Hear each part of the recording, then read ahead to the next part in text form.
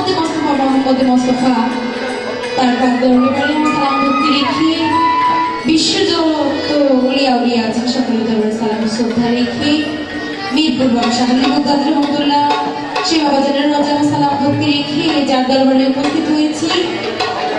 হায়দার বাবা সেই বাবাজানের রজানা সালাম ভক্তি রেখে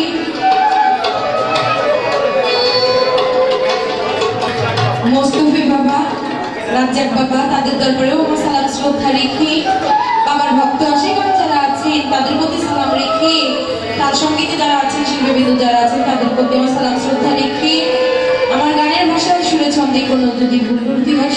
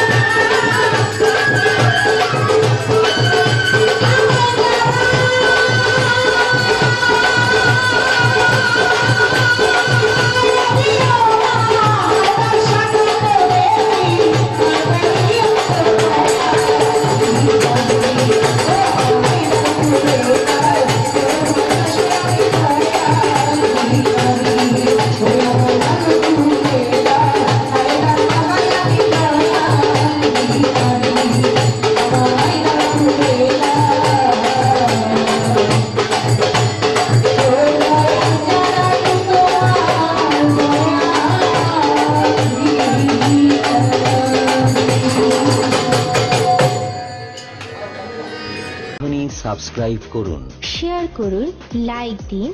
এবং জানিয়ে দিন আপনার মতামত।